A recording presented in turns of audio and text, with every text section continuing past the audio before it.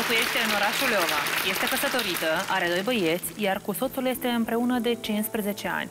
De 3 ani și un pic, Veronica Lungu se află în scaunul cu rotile. Deși soarta a pus-o la încercare, Veronica a găsit putere să vadă doar frumosul din jurul ei. Ba chiar mai mult, a decis să se împartă cu viziunea sa pozitivă asupra vieții cu tot cei urmăresc paginile de pe rețelele virtuale. Sunt într-un scaun cu rotile din cauza unui accident rutier. Ne întorceam din Spania, drumul a fost clar că lung și la Iași s-a produs accidentul. Nimeni n-a pățit nimic, doar eu uh, mi-am fracturat coloana vertebrală. Copiii n-au pățit nimic, din fericire n-au pățit nimic și asta cel mai mult mă bucură, că am fost eu cea care a trebuit să sufăr și nu ei. La început, clar că foarte greu. Foarte greu și nici nu m-am gândit niciodată că o să ajung așa cum sunt acum. Chiar dacă nu spuneam asta, dar eu conștientizam că mie mi-e greu Clar că nu puteam nici să mă îmbrac, nu puteam nici să mă mișc pe o parte pe alta. Eu mamei spuneam, lasă mamă, nu plânge, că o să fie tot bine, o să vezi că ajungem și la mare și la munte, nu mai plânge, o să mă fac bine. Eu undeva aveam încredere în uh, pro propriile mele forțe și în Dumnezeu și spuneam că oricum Dumnezeu o să fac o minune și nu o să mă, nu o să mă lase în scaun. Și spuneam că am doi copii, trebuie să-i cresc și eu o să mă fac bine. Marius, băiatul cel mare, el mereu spune că mama, tu până eu o să fiu clasa 10 tu o să mergi, așa El fiind acum clasa 5 -a. Și am spus, clar, mami, că o să merg, stai că o să fie bine. Dar Răzvănel, băiatul micuț, el știe că mama așa trebuie să fie. El nu conștientizează că mama trebuie să fie altfel. El era micuț și el nu ține minte. Am făcut reabilitare, m-am dus pentru că mi s-a spus că este un aparat care mm, o să mi-l pun în cap și el, stimulând nervul, o să apară ceva în picioare ca să pot merge, dar n-a fost așa să fie. În Germania am mers datorită unui domn care m-a ajutat să ajung acolo. Clar că financiar, dacă nu dispui, nu mergi nicăieri, poate nici eu nu ajungeam. Eu, fiind pe picioare, niciodată n-am discriminat, din contră am dat o mână de ajutor când a fost de ajutat. Dar fiind în situația dată, clar că suntem cumva discriminați și se uită straniu. Dar noi suntem la fel ca fiecare om, respiră același aer și nu cred că este nevoie să fim discriminați. Am avut un caz în care am avut nevoie de ginecolog și am sunat la un spital privat pentru că la noi în Leova nu sunt aparatele necesare. Eu am spus din start, dar să menționați uh, ginecologului că sunt în scaun cu rotile. Și a menționat și clar când a auzit că sunt în scaun cu rotile, nu a vrut să mă primească. M-am simțit uh, cum, cumva respinsă, dar am zis că bine, nu, nu merg în altă parte. Ar fi bine ca să fim acceptați așa cum suntem. Pentru că eu nu sunt vinovată, că am ajuns așa, sau nu că eu, dar orice persoană care ajunge în situația mea, hobby-ul meu este dansul. Eu din clasa a doua până într-a 12 am dansat. TikTok-ul este într-adevăr un fel de refugiu unde eu mă regăsesc.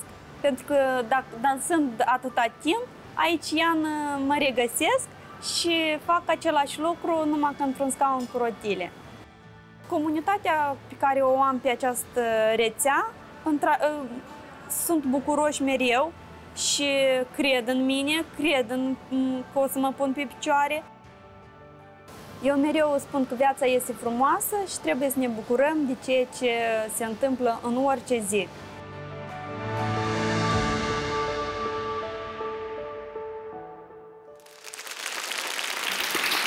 Veronica a vorbit într-un interviu anterior că atât timp cât creierul și mâinile lucrează, ea este bine mersi.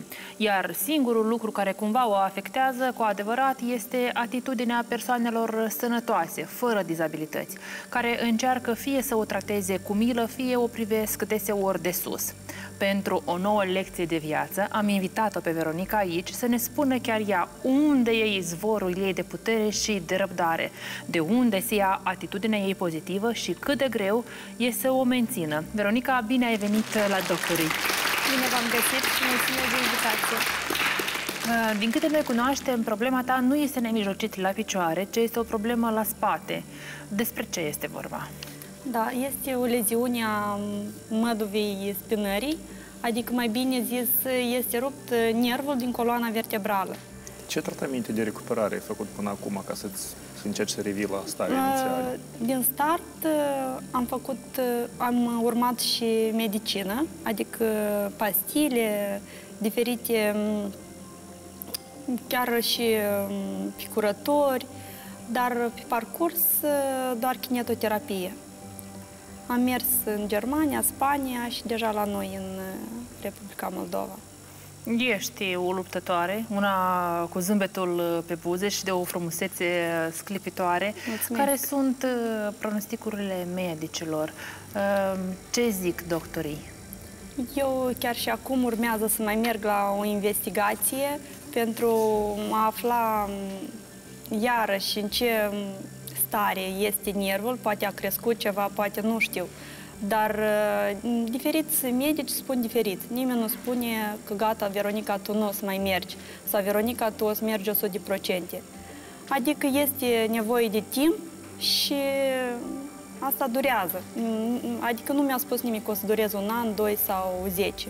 Fiind legată de acest scaun, care este programul tău de zi de zi? Ce activități reușești să faci acasă? De regulă dimineața mă trezesc, copiii îi pregătesc pentru școală, grădiniță, apoi eu urmez uh, rutina mea de dimineață, iau micul dejun, pregătesc uh, mâncare pentru amiază și deja vine kinetoterapeut, facem acasă, pentru că nu, nu pot să mai merg uh, în spitale pentru că e costisitor și nu se merită. Mi-am luat câteva aparate acasă și acasă mă ocup.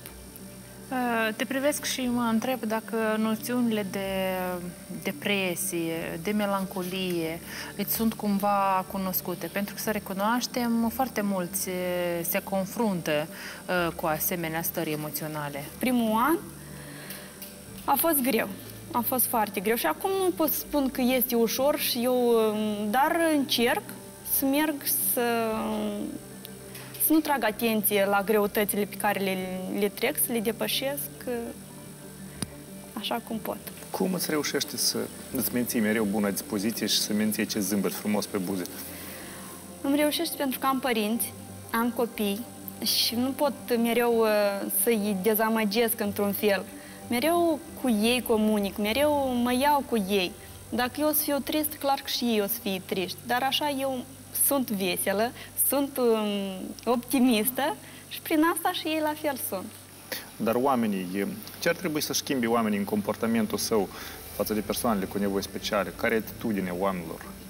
Trebuie să schimbi, adică mila. Este, e corect, nu pot să, adică eu accept și uneori și mila, care, dar prea te, um, prin mila asta nu te, dar te umilesc mai tare, adică că, uite, ești într-un scaun cumva de capul tău cumva. Dar să o schimbăm doar... pe compasiune, bănuiesc. Da, da, da. Tu ești tare activă pe rețelele sociale. Ai o comunitate frumoasă de oameni cu care uh, comunici și uh, faceți schimb de tot felul de idei. Au fost, nu știu, rețelele sociale o, o salvare, un joc, uh, o distracție pentru tine. Cum ai început să-ți crești comunitatea? La început uh, a fost așa un joc mai mult, a venit din inițiativa fiului.